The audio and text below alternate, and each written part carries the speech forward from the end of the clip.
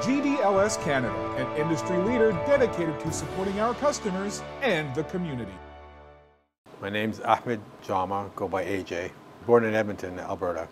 I'm a lawyer. I do corporate commercial law and uh, real estate. And did you know you wanted to be a lawyer uh, from early on in life, or, or did that, how did that come to be? Yeah. I knew I didn't want to be a lawyer. I was going into business, but as fate would have it, my brother wanted to be a lawyer, He became a lawyer, and uh, after some time of working in the family business, I just realized that uh, I needed to do something different. And so I looked at what my brother was doing, and we decided that we wanted to start a firm together. So uh, ended up going to law school, and from there we started a firm in Edmonton. What, what was your family business? It was so many businesses. My dad was a classic entrepreneur. We had clothing stores, we had restaurants, we had, uh, you know, an egg breaking plant. We had, I mean, he just had so many different businesses. And uh, I was involved in sort of maintaining a lot of those businesses. So I became a jack of all trades, uh, you know, expert of none. And so I, that was part of the reason why I felt I needed to go and get a specific skill. How, how many children uh, were in your family? Five boys all five boys. And I understand all five boys played lacrosse? That's right. Uh, wow. Yeah. You come from Muslim heritage. Were you the only uh, Muslim family you knew that played uh, the game of lacrosse? Uh, up until recent years, I, I, I, didn't know of any other Muslim families in uh, playing the game, or you know, Arab. Uh, there was a couple of Arabs that I, I, I ran into over my time in uh, in lacrosse, uh, but uh, it was few and far between. So in some sports, assimilation has become uh, happened at a greater speed. What, what do you feel would be good for for lacrosse? We have to recognize we have a, a changing de demographics, and we are a much more multinational uh, country. And uh, unfortunately, I don't think lacrosse has kept up with that really important for us to develop uh, those uh, relationships and get a much more inclusive uh, uh mix of people uh, in, in our game. It's absolutely essential. So you were in Fort McMurray uh, first with your family? Yeah, that's right. I was I just started playing hockey in Fort McMurray. That was the first sport that I really got involved in. Moved down to Edmonton and sort of in the springtime, and I was, uh, like every young kid, wanted to make friends, and uh, this uh, young guy uh, my, my, age just said, yeah, I play this game, you should come try it. And I had no idea what he was talking about. It was an outdoor rink uh, by our school, and uh, showed up on a Saturday morning, and they gave me this long stick with a net at the end and said, okay, this is the, this is the game. First time I'd heard of it first time I'd seen it, and uh, uh, it was uh, the first time I got so excited about something. Uh, it was just gravitated to it right away. I've heard that from many, many people. As soon as the stick went in their hand, the first time they knew they had found their future that way. Absolutely, and you see it today. You know, you go to these intro uh, uh, events and kids pick up the, the, the ball, the stick and the ball, and what's interesting about it is it's not an easy skill.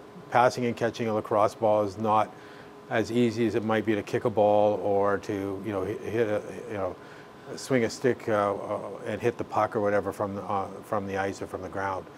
So, but that doesn't seem to hold kids back. They don't put it down and go, I don't like this.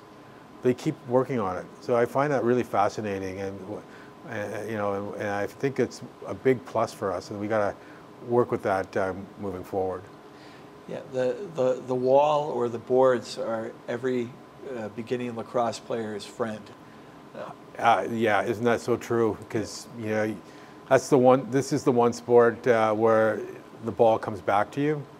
You don't have to run around and collect uh, whether it be golf balls or pucks or whatever.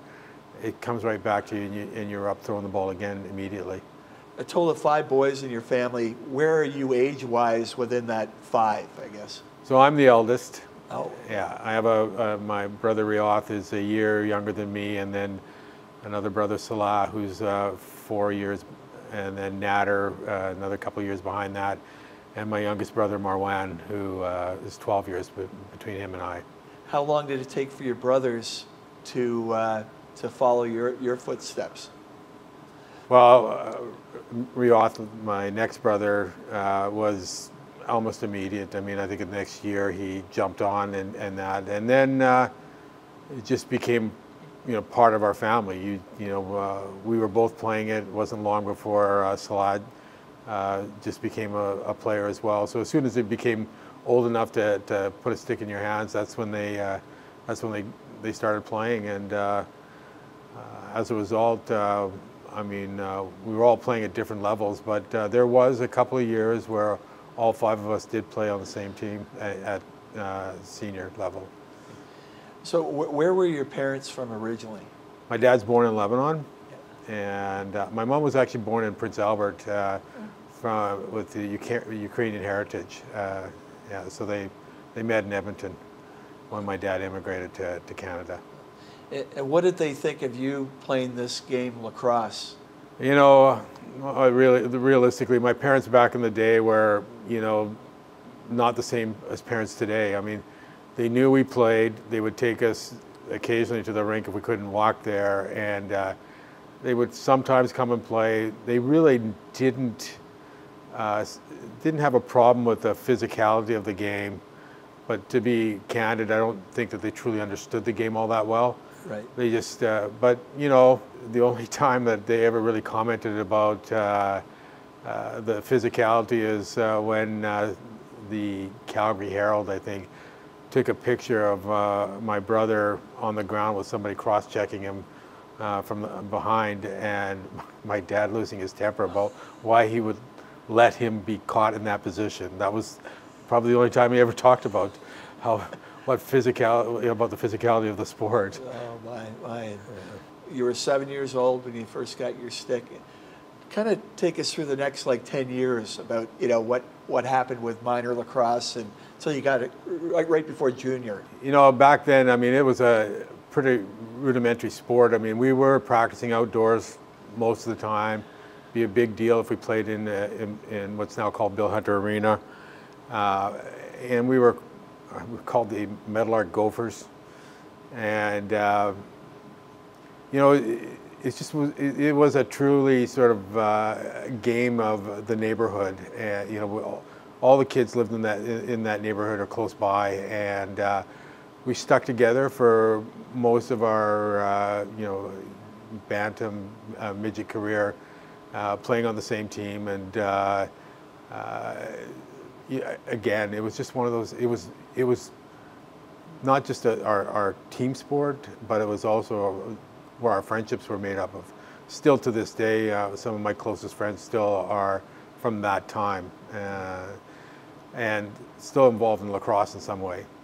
So, uh, you know, we and we would play the city finals. That would be a big deal back then. Uh, every once in a while, go to a provincial final uh, and and have some success. Maybe not so much in other years. I mean, uh, you know, but I I do remember a guy by the name of Peter Gamble who was my first coach ever, and. Uh, uh, I remember seeing him in the Canada Summer Games, and it was a big deal. Like uh, back then, I mean, he was he was Alberta's star at the time, and uh, uh, so you know, felt good that you had somebody who was so talented teaching us the game, and it was a great experience working with him and his family, which, who were very much involved in, in lacrosse as, uh, in, in the west end of Edmonton. What would you say was your, your strongest attribute with the game? Were you a scorer? Were you a defender? Were you a transition player or all of the, the above or whatever? Actually, I was none of them. So. None of the above. None of the above. I I started out playing. I, uh, I think in Pee Wee I was playing forward, and one day our our uh, goalie didn't show up for practice, but the gear did. So I put on the gear, and I never took it off after that. So I played goal all my life. Uh? In uh, in uh, box lacrosse. When I played field, I was uh, long pole, but uh, a little bit of goal, but not much. Yeah. Yeah. So uh, one of those nutty goalies. So that fateful day when you put on the equipment that was there, what was the first game like for you? Was that a game that you played or a practice? No, it was a practice. I Prac- practiced okay. a few times before I actually played in a game. Uh, I mean, I was lucky. I was never really, I wasn't fearful of the ball. I wasn't, uh, I, was, I was, you know, fairly confident uh, of it. And, uh, you know, I don't remember specifically that first game, but I do remember, like, you know, um, uh, being really uh, in, uh, really in tune with what was going on out there, and so uh, really focused on the game. I, you know, I, I, I, it wasn't so much about whether I was making the stop or not. It's, it was about the whole flow of the game, and so as a result, there would be stops, and I mean, obviously there would be goals too. But uh, yeah, it was uh, once I, I started that, I never once thought again I was going to uh, play forward. You, you enjoyed it. I did. Oh yeah, I was. I had a fantastic career in net, and uh, you know, uh, back then the equipment was a little smaller, definitely thinner. We always talk about how rough a sport it is, but I think back then, I mean, the the real painful ones were the the, the shots, uh, you know, in the in the wrong part of the equipment that were that I don't think any forward really had to experience. Did any of your brothers play goalie? Not in uh, lacrosse. I have uh, two brothers that played goal in hockey, but uh, they were they all played out. So when you guys threw the ball around at home, you were always uh, the guy they shot at, or Well, we, we'd go to the rink, and I'd, I would have to take my gear with me, but uh, uh, you know, out around the house and that, I still wanted my forward stick out. As I said, I played long pole and field, so I needed to have a little bit of uh, stick skills uh, in order to play that. so eventually you made it to junior age. Tell, tell me about what happened with junior and, and those sorts of things. So the first uh, couple of years, I mean, back then uh, the Edmonton, Edmonton was lacrosse community was really divided up into into areas. Uh, so there was uh, we were the the uh, West Edmonton uh, team, and there was a team in Southwest, and so about five or six different areas, and it was competitive lacrosse. Skill level was kind of all over the map. And I remember the one year we were uh, told in, I think, my second year of junior that uh, we would be playing, they, they were combining two teams. Uh, our hated Southwest Devils uh, team with a guy named Warren Rendon. And uh, just based on that, it sort of changed the game of lacrosse in the Edmonton area. I, there was some. Uh, there was some. Uh, there's a little bit of time where those, where the two teams uh, took.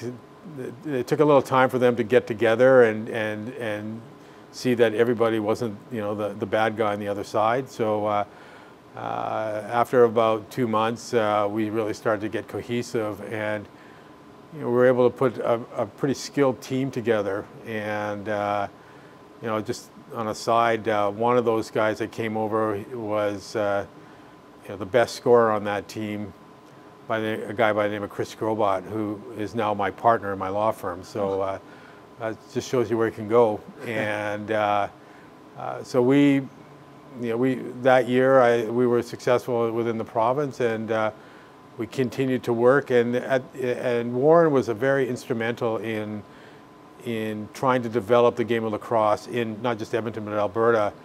So in 1979, we uh, they put together a, a junior A team to compete in the Minto Cup. So we played. It really was a put together team, but it was an important. Uh, it was an important event for lacrosse in Alberta.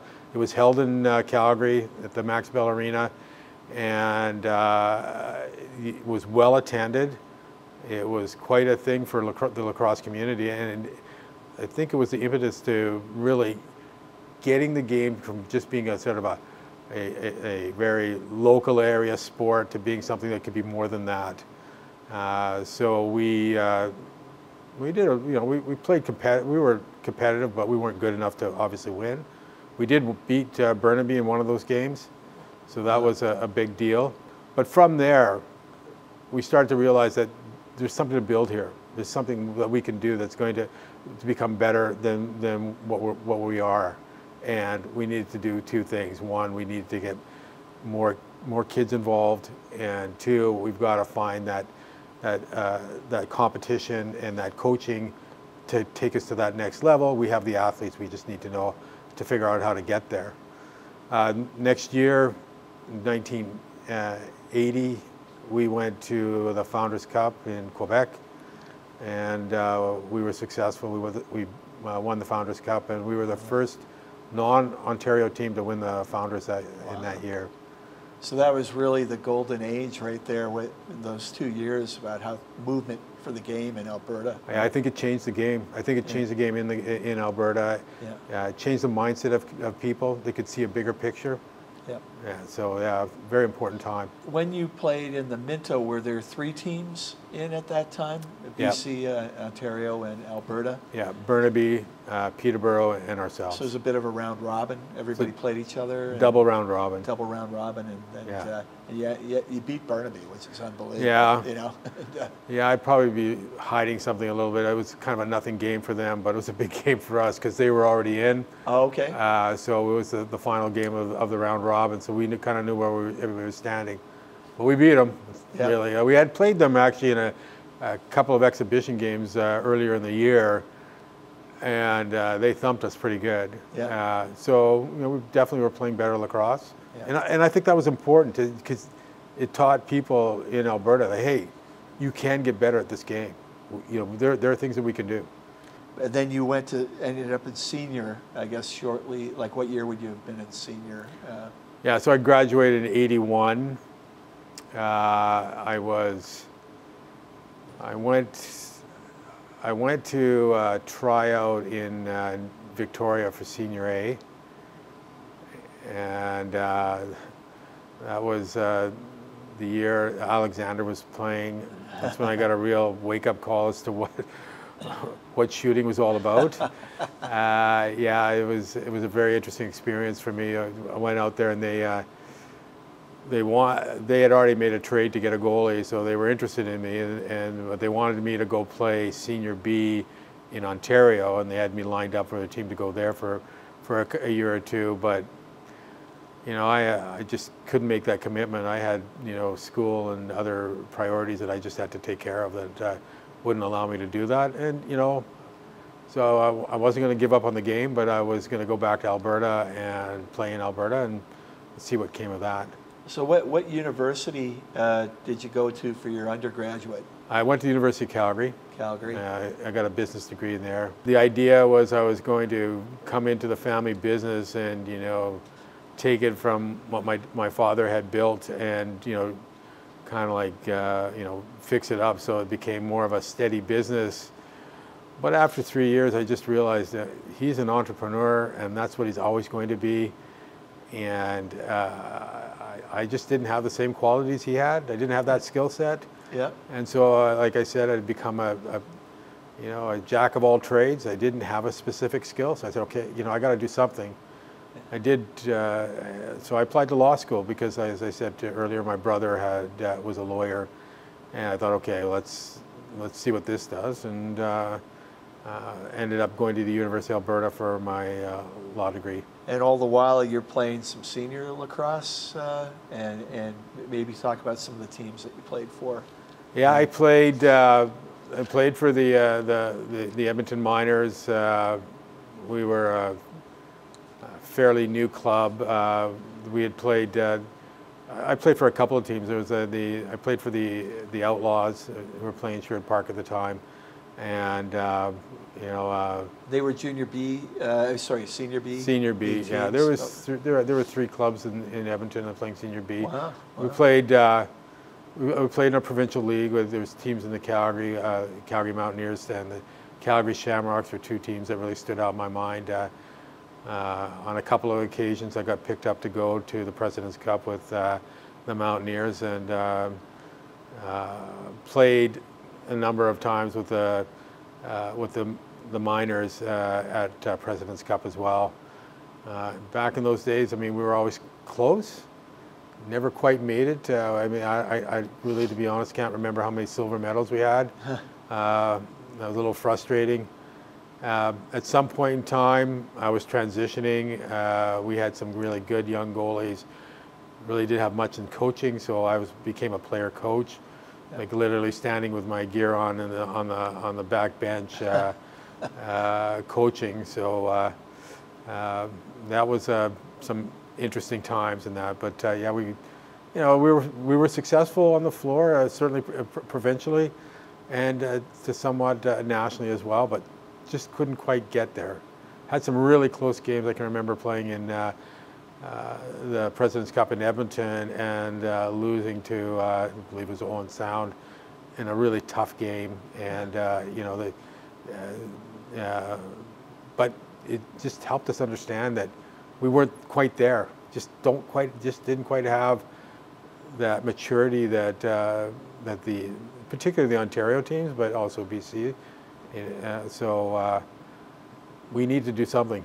Had to had to had to get better, and I think that was a big part of what happened to us when we, you know, in 2001 when we, you know, going into getting into the junior A. But uh, just uh, finishing off, I, I really uh, uh, played on, uh, you know, played in, in a, a number of them, and then coached a couple of, or coached on three, three of the four, sorry, two of the four President Cups that we won. Won once with the Outlaws, and we've won three times with uh, the Miners. Besides Calgary and Edmonton for senior B teams, were there other centers in Alberta that had senior B? Yep, Red Deer had a team. They were in and out type of thing. They've, they've kind of bounced back between B and C a, a little bit. Uh, they just don't quite have the, the, the, the mass to develop that skill level. They've had some very competitive junior B teams, and uh, just getting into senior C haven't quite got there yet. Uh, uh, but they still have a very active community, and uh, actually the surrounding area has really developed there as well. You actually played senior men's field?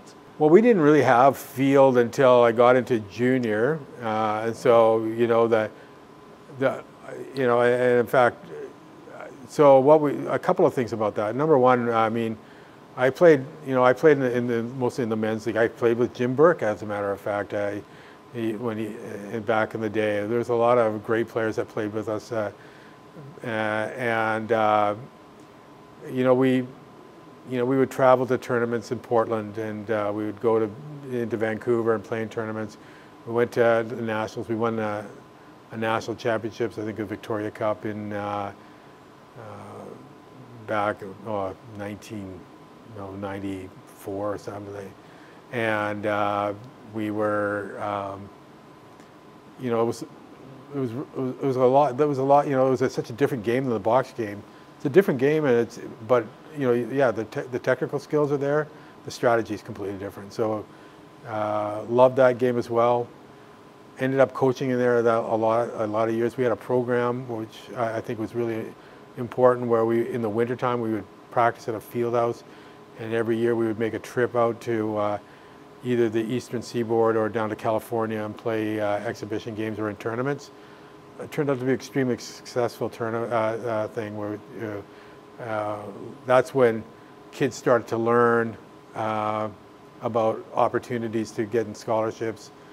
Uh, just a s- small example, a guy by the name of Chris McIsaac, we went to uh, Philadelphia and he got noticed. We, our, our game got, got transferred from uh, a high school, which was too muddy, to a field at St. Joseph's University. And uh, coach came out and just was watching and identified a couple of our players, and they ended up getting scholarships there. Wow. And as a result, uh, he's now a vice president of the second largest mutual fund in U.S. So, again, So things some things are just meant to happen. Yeah. Yeah. So uh, that and so got the opportunity then to come back and coach here. Coached uh, uh, a U19 team that won the First Nations. Uh, guys like Devin Ray and Taylor Ray and uh, Darren Hillier, guys like this, uh, young guys, Um and uh, that was yeah that was great. Uh, great opportunity to coach uh, that, that field. You started coaching about what year was that when you began to player coach or, you know, kind Yeah. of start to make the, My first coaching was uh, coaching my youngest brother's uh, intermediate team. That was the first time I ever got involved in coaching. I really don't remember the exact year I started becoming a player coach, and that uh, like I mean, 85 or a little bit later than that or uh, even? it probably was around that time. Okay. Yeah, it was certainly yeah within that within the next two or three years from that one. Yeah, I am uh, surprised how much it resonated with me. The just coaching my younger brother's team and that, and uh, I think that's where I really caught the bug at that point because. Uh, I was not keen on coaching to begin with, but uh, they, were, they were desperate and uh, uh, they were not very good. I kind of set the rules with them and they bought into it, and we had some real success, you know. And that's when I realized how important coaching can be to, to young people. Uh, and uh, I mean, of all the roles that I've had in lacrosse, I find coaching is probably the one of the most, if not the most rewarding thing, uh, because there's nothing more uh, satisfying than to have somebody who years later comes back to you and says, "What an impact you, I, I may have had in his life," or uh, and just you can't, you know, I can't measure that. It's just, you know, it's just an amazing feeling.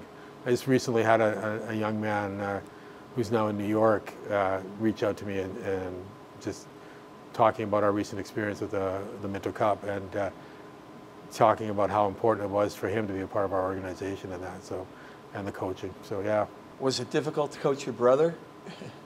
Well, I coached all of them. Yeah. No. What's that like with the family uh, time? You're telling them what to do and that kind of thing. Would it?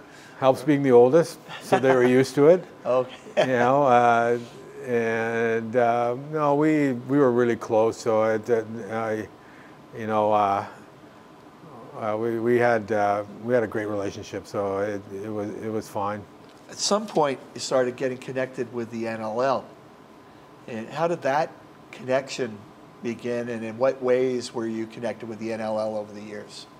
We had a coach, uh, the owner at the time was a guy by the name of Bruce Urban, who owns a number of RV uh, businesses, and uh, he had a, a cousin of mine that worked there, and uh, my name got mentioned, so he contacted my cousin and said, "Do you know this guy?" Yeah. So made the connection there, and uh, we held a meeting. They uh, and he knew me because of uh, you know I was fairly well known at that time in uh, in the lacrosse community, and he knew nothing about the game of lacrosse. I'm not sure that he'd even seen a game until he went to a roughneck game. So uh, he reached out to me, and we sat down and uh, um, talked about the game and talked about what needed to be done, and offered me the opportunity to become the director of lacrosse operations, and uh, I, I took it from there. I, you know, uh, I think having a bit of a business background uh, made a big difference. Uh, uh, by then, I was in the law as well, so all those little things can, can play into it. You know, uh, got the, the the opportunity to hire uh, you know the GM and coach. I hired Paul Day, and Okay. Yeah. One of the best decisions I ever made, uh, just you know, on a professional level, but also on a personal uh, level, as we remain you know, really good friends. So, yeah, it's a, and uh, I was there for three years, and uh, great experience. What, what, what year was the first year uh, that you got started with that? I want to say 2006, 2006, yeah, I think. And I see that you scouted for the Toronto Rock at some point. I did. That was uh, before, uh, back when Les Bartley was uh, uh, the coach. Yeah. Uh, a guy by the name of Sean Ferris, who I had gotten to know a little bit as well, uh, referred me to them. They were looking for a Western scout. Uh, so uh, they contacted me, and uh, um, I was happy to do it. Ended up doing a lot of driving back and forth between Edmonton and Calgary to scout the games. Uh, you know, a little more rudimentary, uh, the scouting system back then, relying on paper and pen a lot more than tape and that. So uh, uh, you know, uh, got the opportunity to meet with uh, Les, and great experience that was. Yes. And uh, what a great, great guy he is and uh, or was. Yeah. And so, uh, yeah, we just uh, hit it off, and I did that. I uh, uh, did it for three years and uh, got a ring out of it, which I didn't expect. But that was the class of the organization at the time, and uh, yeah, it was a great experience. Really, really enjoyed that. Certainly helped me when it became, uh, you know, when I became uh, part of the rush. Do you remember uh, a player or two that you scouted for them that turned into something into the NLL? I mean, uh, I was by then I was involved with my, my junior A team, and so we were, you know, I, I, I can't remember specifically uh, guys that were back then. I mean, we were an afterthought. I mean, we're always, you know, players were getting drafted late from the local areas, like the Roughnecks would dra- draft, and maybe, you know, uh, Edmonton would draft a couple. I mean, a, a guy that, like Jordan Cornfield uh, uh, uh, would get drafted by, by them. But uh, back in, I mean, my, my role with Toronto at that time was scouting the games, scouting uh, scouting reports about Oh, upcoming games and stuff like that. That was Like- more game related than uh, Yeah. player related. Okay. Yeah. You actually were an assistant coach with the Rush as well? Yeah, I worked with the goalies, but I was more on the back end. Yeah, really a back end guy. You know, uh, working with the defense and and the defensive system. Was everybody using the Les Bartley method that he created to uh, offense defense? Uh, yes, there was already well defined. You know, uh, you know, it, it, it- definitely there were back gate guys, front gate guys. Maybe you can go up there and stay and play, but not very often. Who was the best or among the best goalies that you had at that time for Edmonton? We had some really good ones. Uh, I mean, the one that really stands out in my mind is Patty Campbell, but I'm not Yeah. sure if it was just his goaltending or, but what a character he was. Like, I mean, you know, I'm sure he still is because he's he, he he he really was dynamic. Uh, he could play the game. He could really play the game, but he, you know, it wasn't he- as far as he was concerned. It didn't just stop when he stopped the ball. I mean, in his stick, moved it really well, just played really well. We had a few goalies come through our system. Uh, as a young team, uh, we were constantly uh, evolving. So, uh, I mean, he stands out the most to Patty me. was the one. Yeah. How about defenders that you had that were impactful?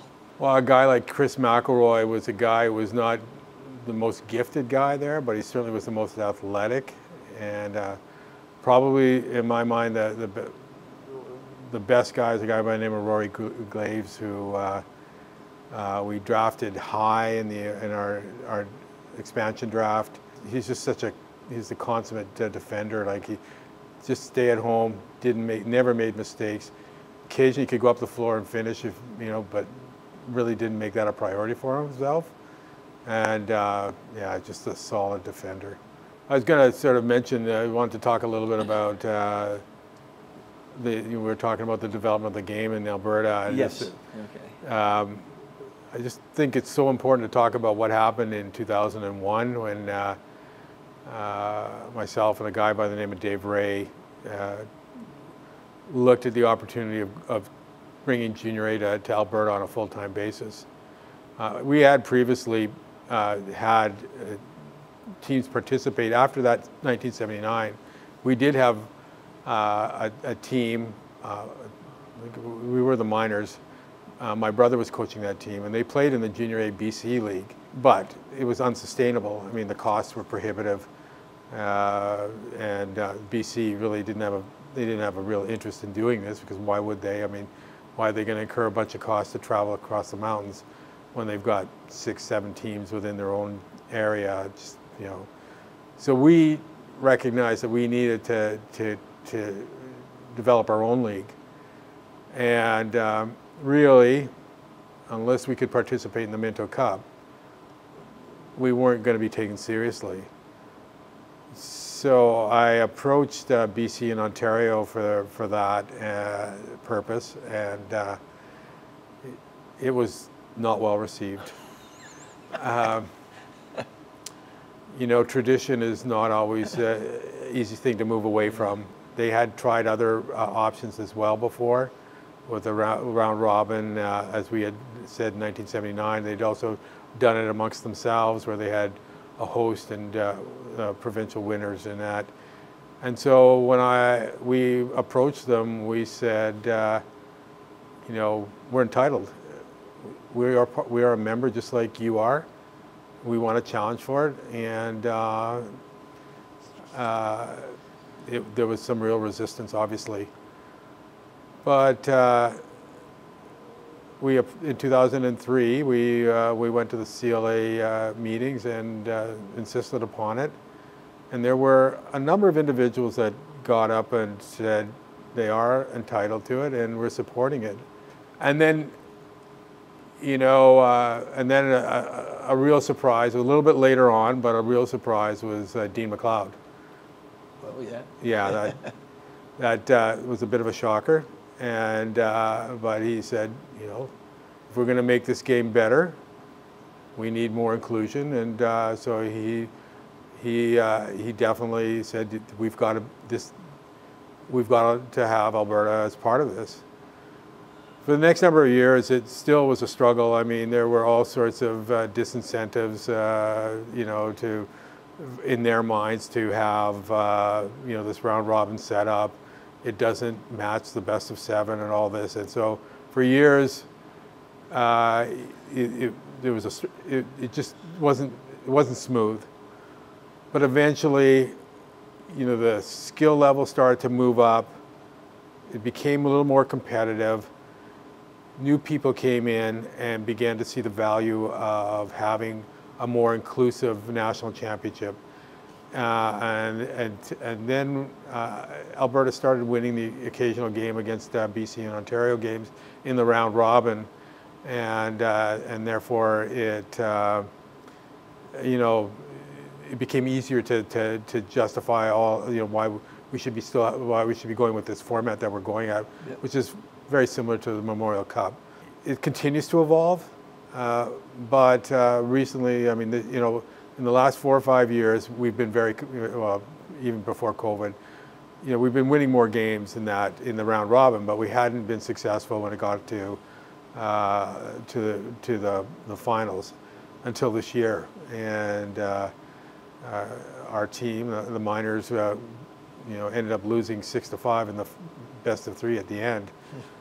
But I think that was, you know, that really was such an important development for uh, lacrosse in, in, in Canada, not just at Junior A, but to show everybody what can happen, what you can do, and why it's so important. Because not only did it make an impact uh, with, amongst the Junior A clubs and the junior clubs overall, I think it made an impact over lacrosse overall. We had uh, real, there was a, you know, when you looked at the social media and the TSN and uh, uh, YouTube, the hits that were coming were, were in, in, like I think 25,000.